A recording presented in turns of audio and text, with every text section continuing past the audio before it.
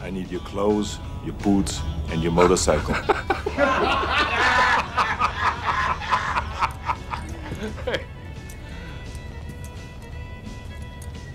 You forgot to say please.